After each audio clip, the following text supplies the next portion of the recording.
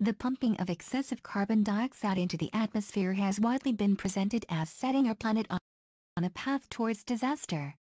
But a new study has revealed rising levels of the greenhouse gas due to humanity's actions is actually having a surprising side effect, it is making the Earth greener.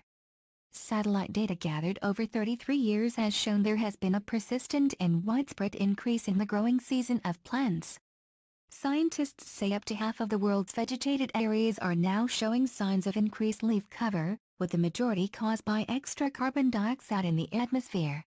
They added that the extra greening that has occurred in the past 33 years is equivalent to adding a green continent twice the size of mainland USA, around 6.95 million square miles.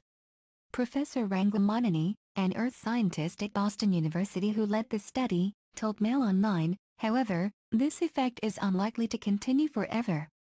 He said while the additional plant growth was helping to soak up some of extra carbon being emitted into the atmosphere by human activity, it may start slowing down. He said, currently, about a quarter of the 10 billion tons of carbon that we emit into the air each year, are being stored in the body of trees and in the soils. We do not know how long this will continue.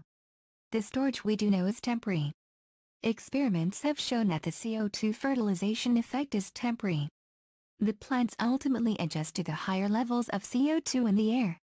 The researchers used data from the NASA MODIS and National Oceanic and Atmospheric Administration AVHRR satellite sensors from the past 33 years.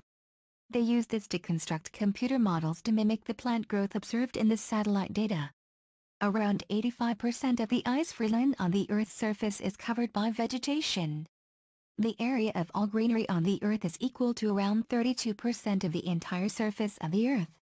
Dr. Zaichun Zhu, a researcher at Peking University who also took part in the study, said, the greening over the past 33 years reported in this study is equivalent to adding a green continent about two times the size of mainland USA and has the ability to fundamentally change the cycling of water and carbon in the climate system humans are thought to be emitting around 10 billion tons of carbon into the atmosphere every year.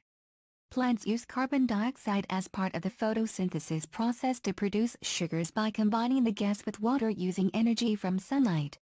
These sugars form much of the structures in plants and ultimately provide a valuable food source to animals. The researchers, whose work is published in the journal Nature Climate Change, say their findings are consistent with other studies that show how elevated carbon dioxide can increase plant growth.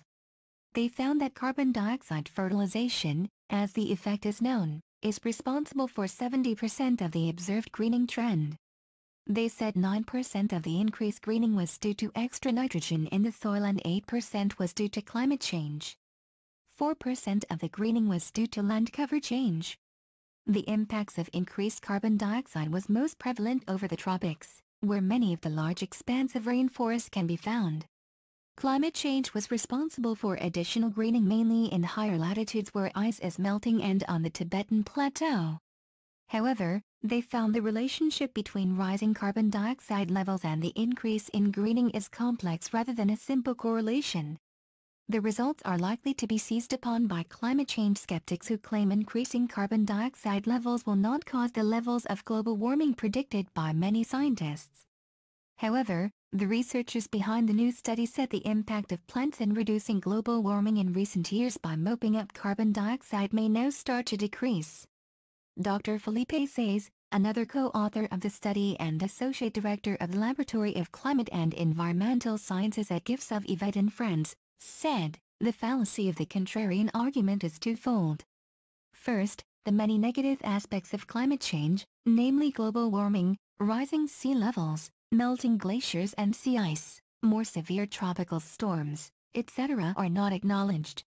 Second, studies have shown that plants acclimatize, or adjust, to rising CO2 concentration and the fertilization effect diminishes over time.